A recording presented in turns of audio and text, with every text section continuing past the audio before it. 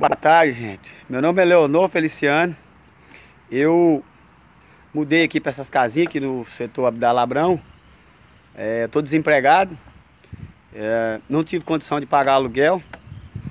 Tem seis crianças. Seis crianças aqui, ó. É, não tem condição de pagar aluguel. E aí mudei para cá. Não tive outro lugar para me ir tive que vir pra cá. Tá tendo até umas conversas que eu invadi, mas essa casa é minha. Tá aqui, ó, o título de domínio dela, o papel dela tá aqui. Não invadi nada de ninguém. E eu, para não ir pro meio da rua, eu vim pra minha casa. Aí o prefeito, Walter Aleixo, veio aqui para me tirar. Pra me tirar da minha casa. E eu falei que eu não ia sair, porque eu não tinha pra onde ir. Aí ele foi chamou a polícia pra mim, a polícia veio aqui também. É, e eu falei que eu não ia sair, porque eu não tinha pra onde ir. Aí Mandaram mais um pessoal aqui na parte da tarde, eu falei que eu não ia sair.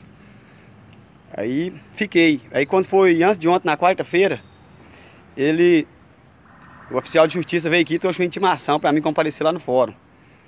É, hoje eu fui lá, fui lá no fórum e para ver se tinha algum acordo. O prefeito falou para mim que não, não tinha acordo não. Ele quer que eu vou pro meio da rua com minhas seis crianças e minha esposa.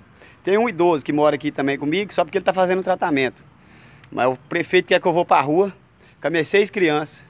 Por mim não, prefeito. Por mim e para minha esposa, nós não importa que isso não. Nós moramos até debaixo da ponte. Mas como é que eu vou jogar minhas seis criancinhas na rua? Como é que eu faço? Não tem jeito. Torci tanto para você ganhar, prefeito. Você vai mesmo jogar eu com as minhas crianças no meio da rua?